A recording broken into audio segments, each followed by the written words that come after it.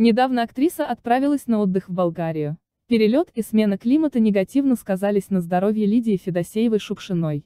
После резкого ухудшения самочувствия звезду доставили в одну из местных клиник. Сейчас, по словам близких, здоровью 80-летней артистки ничего не угрожает.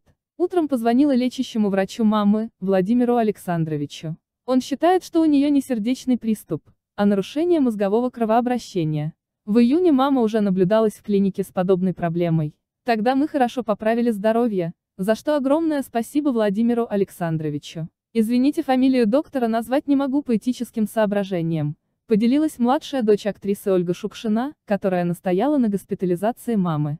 Лидия Николаевна пока очень слаба, ей запрещено много передвигаться. Сейчас она находится в личных апартаментах и с нетерпением ждет, когда ее заберут в Москву, где ей предстоит основная терапия.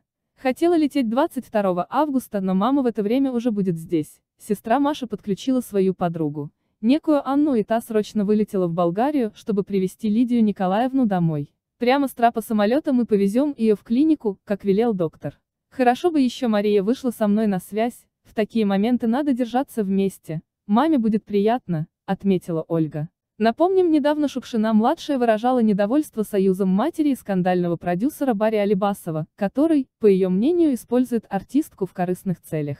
Не знаю, зачем был нужен этот брак. Недавно мама мне призналась, что совместного быта у них нет, секса тоже. Это признание меня расстроило. Напрашивается вопрос, к чему тогда все эти шоу со свадьбами-женитьбами? Стоит мне отлучиться из квартиры, как Барри проводит какие-то фотосессии.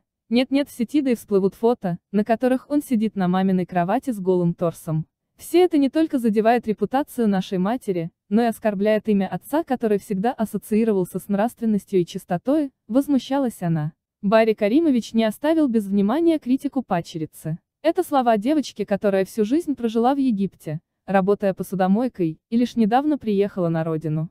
Ни с того ни с сего появляется эта публикация, которая не имеет никакого отношения ко мне. Оказывается, я еще и претендую на авторские права на произведение Шукшина.